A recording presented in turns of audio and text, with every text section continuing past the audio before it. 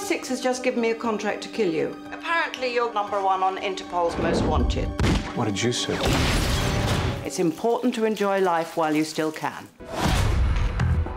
One of the things we I think we all enjoy in this movie is we get to play.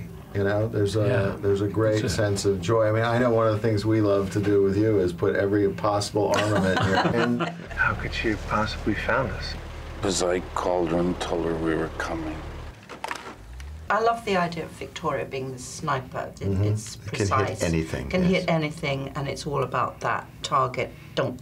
There is nothing more sexy in the whole world than a beautiful woman with an incredible gun. You're such a romantic. I- we take a particular amount of pleasure and glee in trying to figure out what we can take. Uh, Take Victoria This- too. I never heard of you. Must be a little bit before my time. Well, you've heard of me now. You know, one of the themes that, that we love about the movie, that we've always wanted to be in the movie, is this sort of notion of how people are underestimated or discarded in their lives, you know? And I think that's one of the. And how much they want to prove prove themselves. Yeah. You know, they want to say, "I'm not finished." You know, Yeah. prove it to themselves as much as to you know the, their uh, fellow professionals of the world out there. Mm-hmm. Prove it to themselves that they've still got it. You know. Show me something.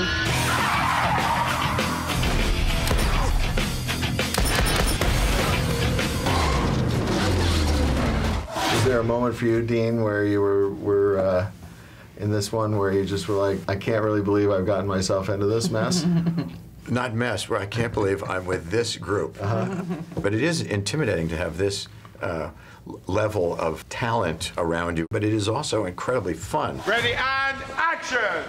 Sometimes you have an idea, and you actors, we all work on the stuff, and well, no, and then you think, well, maybe I'll take this and see if I can try this. Because when, when, once you have that freedom to go in and say, can I try this? Yeah, try it, go for it. And that is, that's like having a cocktail in the morning. That's like having.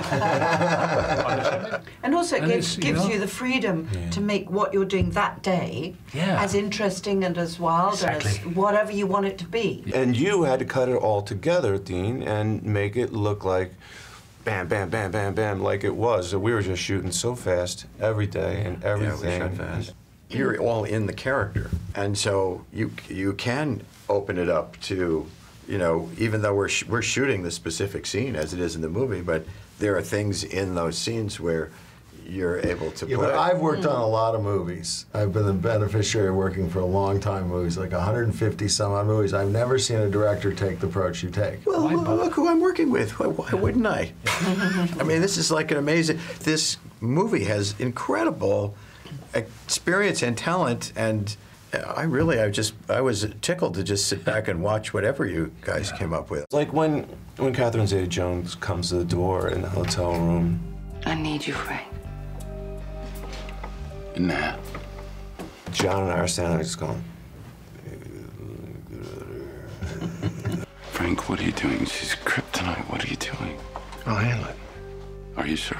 His advice about romance is just. Oh, I know, I know. It's just- the fact that that character Yeah. is the guy that advises everyone about what a relationship should be is already insane. But he's right. He's right. He's always right. He's always right. And if there's one thing I know, it's women and covert ops. That's two things.